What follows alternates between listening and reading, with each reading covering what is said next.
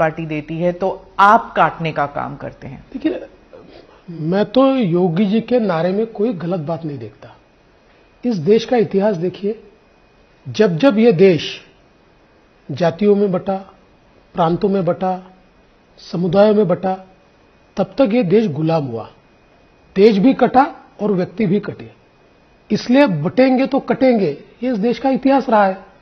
और मैं समझ नहीं पाता हूँ कि अगर कोई ये कहता है कि बाटिए मत और बटिए मत।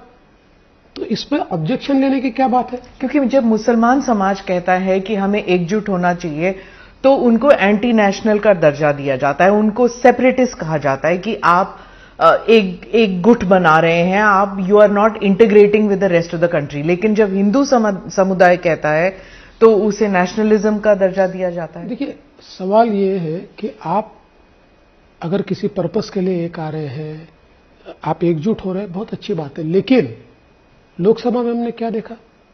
लोकसभा में हमने देखा वोट जिहाद। लोकसभा में उनके धर्मस्थलों से बैनर लगाए गए। महाविकास आघाड़ी को वोट नहीं दिया तो अल्लाह के साथ बेईमानी है। ऐसे वोट लगाए, ऐसे बैनर लगाए गए। मैं तो तमाम सेक्युलरवादी जो अपने आप को मानते हैं, उनको पूछता हूँ, ये कौन सा सेक्युलरिज्म है? कस्में दिलाई गई लोगों को? और पर्पस क्या है? डिफीट मोदी। पर आपकी पार्टी भी कहते जो राम को लेके आए हम उन्हें ले आएँगे। तो गाना है।